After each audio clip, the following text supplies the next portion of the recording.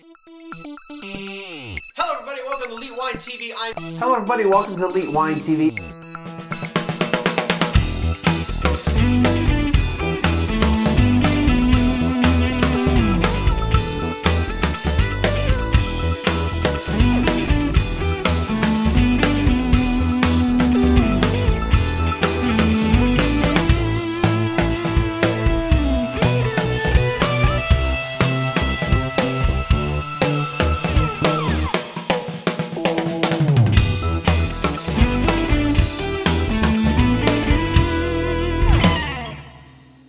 Welcome to Elite Wine TV. I'm your host, Mark Fusco, here with another episode of the show.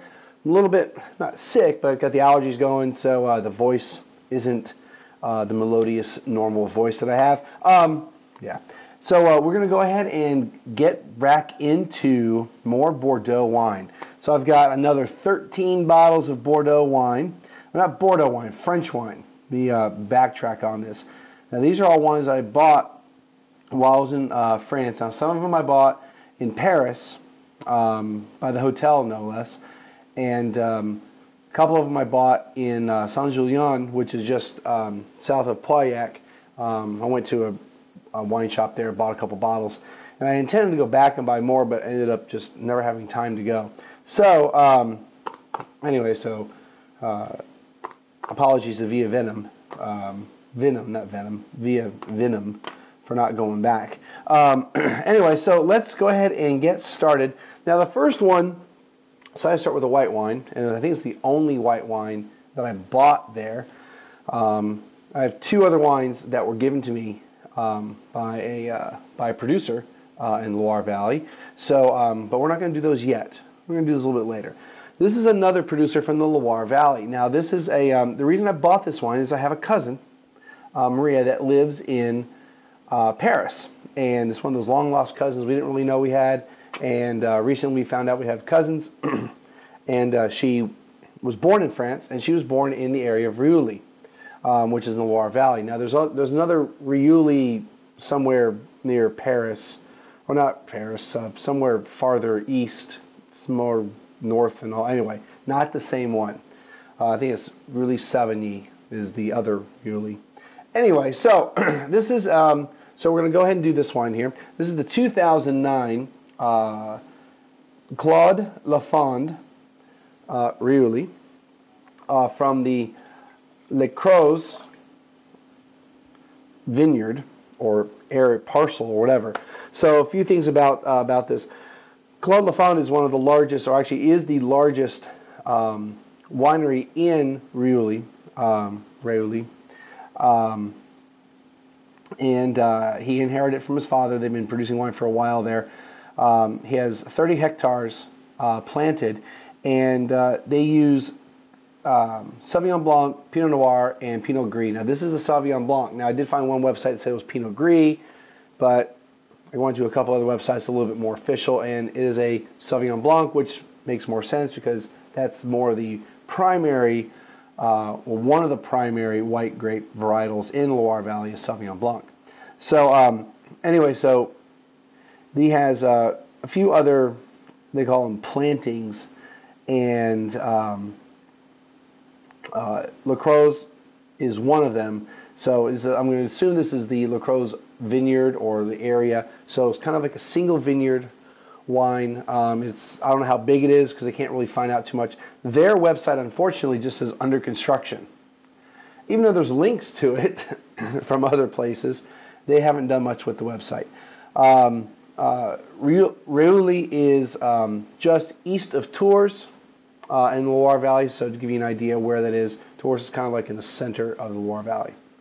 All right, so let's check it out. Um, color. it's kind of well. The problem is this is kind of you know. I modify the color of, of the videos. I look a lot more yellow in the actual videos, and I make it look a lot whiter and bluer. So, um, so the, the light is making this look really, really almost the same color as this paper here. Um, that manila golden type of color, um, which isn't too bad, you know, as far as um, what it should look like. Um, it's pretty clear. I wouldn't call it bright or star bright. Actually, it seems like it's a little cloudy. Viscosity wise, um, I'd say low to maybe medium. Uh, I know the alcohol is 12.5%, so it's not a very high alcohol wine. Let's go ahead and get right into uh, smelling it. So right off the bat, I'm getting that kind of um, citrusy. Um, I don't need the receipts because I already have all the prices written down. Uh, citrusy type of um, aromas. So that lemon, lime type of uh, aroma that you typically get. maybe a bit of grass, but nothing, um, nothing really overpowering as far as vegetal. And that's about it. Let's go and taste it.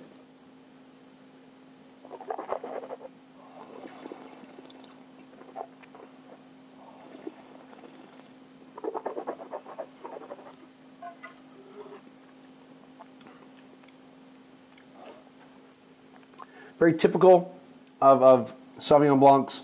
It's got still has the um, citrusy, lemon lime uh, type of flavor profile to it. Acid's pretty light. It doesn't. It's not really just sharp right down the middle of your tongue type of acid. It's kind of it's kind of spread out. I don't want to use the word flat because it makes it sound like the, the wine's a flat wine. Technically, it is. It's a still wine, um, which is funny because let's see where where did they in another wine that that uh, I was looking up vin tranquille. So tranquil wine I guess that's a that's what the French call a still wine something I learned today. Anyway um, it's not too intense it's pretty light I mean and I'm drinking this at room temperature so um, it, it, it doesn't really uh, a lot of white wines at, at room temperature tend to be a little more harsh so um, this really isn't that harsh.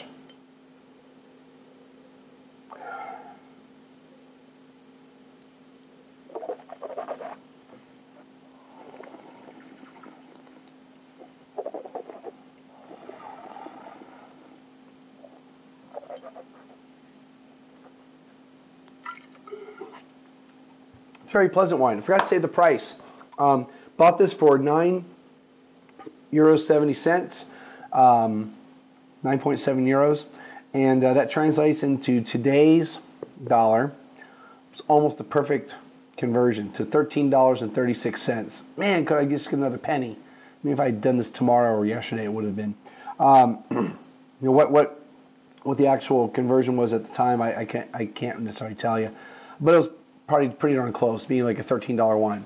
Um, for that kind of money, it's it's as good as anything you're going to find here in the States. Uh, I challenge you to find this in the States. You probably won't. You probably won't even find anything from uh, the Lafond. Uh, well, you might find something over here, but I, I, highly doubt you'll find it over here.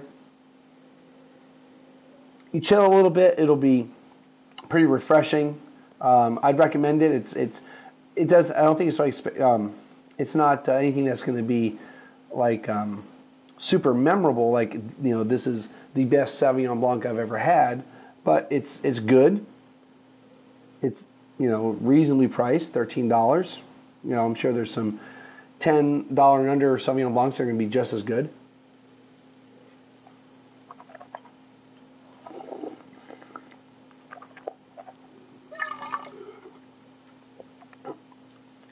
It's decent, um, but I don't think it warrants anything higher than an 85.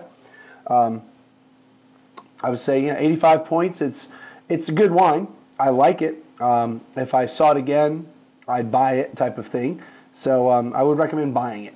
Uh, like I said, you could probably find wine equally as good for, you know, the the 10 euro range.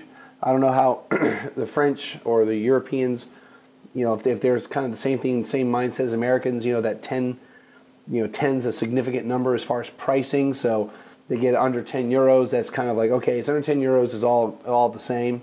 Uh, because if it was under $10, it would be closer to about 7 euros. So um, I don't know how they how their mindset is, but um, pretty decent. 85. Got to put my uh, 85. Ta-da! I forgot to write all that down. I'll, I'll try to do that later. Anyway, um, like I said, if you find it in the store, uh, go ahead and buy this. I did buy this at a store called Nicolas, and uh, they're like the huge wine chain in France, or at least in Paris, but definitely France, um, or definitely Paris. I don't know. I bought a bunch of wine from those guys, right before they closed too for the day. I thought they closed at like nine, they closed at eight. So anyway, um, going to do it for the wine. I forgot to set the timer, so I don't know exactly. Oops. Uh, how long we've been doing? A few things. Um, for the next few episodes, I'm going to be wearing uh, the other wine bloggers T-shirt to kind of give her a little bit of, um, a little bit of uh, recognition. How about that? Well, advertising, free advertising. Um, it's kind of hard to read the whole thing, so I have to search it out. So it says, "Real men read Viniously Speaking Wine Blog." And it has her thing on the back. It should have a definition of uh, Viniously. I forgot exactly what it says, but um, um, I'd have to look at it.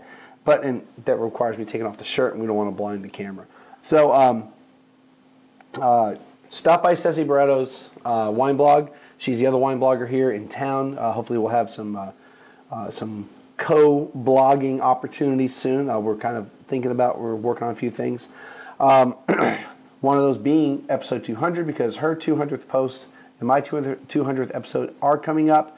So we are looking to do something combined with that. Um, we got Thanksgiving coming up, so look for a Thanksgiving special. So I'll be heading out buying some wine for that. Um, we also got got that the uh, Beaujolais Nouveau. Um, we got the Beaujolais Nouveau tasting, and um, it's happening on the 17th of this month, November. Hello.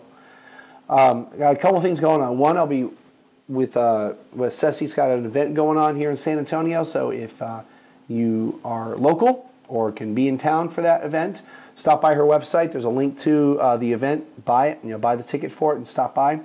Um, also, earlier in the day, I'll be participating in the Wine Twits um, Beaujolais Nouveau tasting.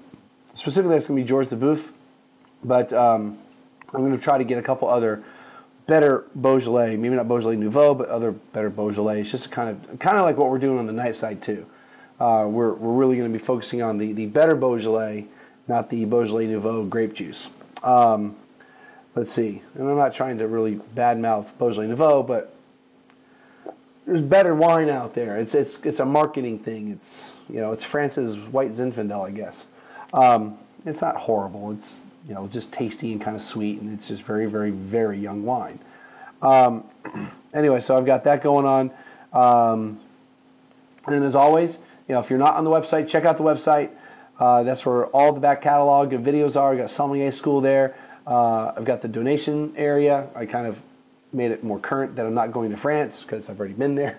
So uh, stop by, donate something. I've had some people donate recently, which is awesome. And uh, leave comments below. That's all I got. We'll see everybody again next time.